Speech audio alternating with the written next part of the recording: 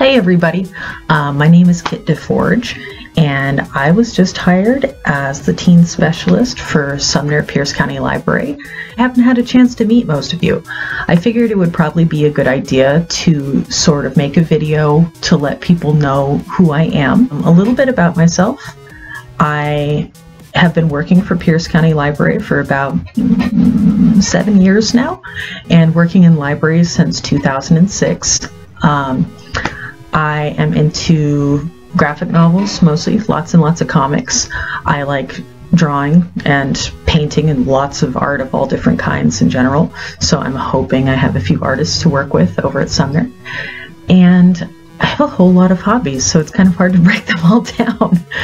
but um, I'm interested in seeing ways that we can use our space and our resources to get your hobbies and your groups together, whether that's a place for you to study or places for you to meet your fandom groups or places for you to game, any of these different kind of things.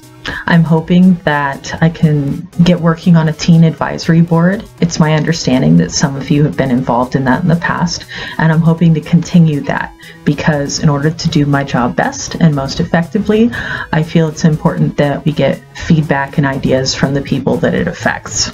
So, if you have anything bouncing around your head right now um, about what you might want to do at the Sumner Library, feel free to send me an email at kdeforge at piercecountylibrary.org. That's K D E F O R G E at piercecountylibrary.org. Or just kind of jot some stuff down. I would love to talk with you at the desk or anytime that we have the opportunity to get to know you and some of the stuff that you want to do. So, um, I'm hoping that everybody is staying safe, that things aren't too weird, and that I'll get the chance to hear from you soon. So, um, we might even be able to leave some comments, and I can start working on some stuff that would work for you.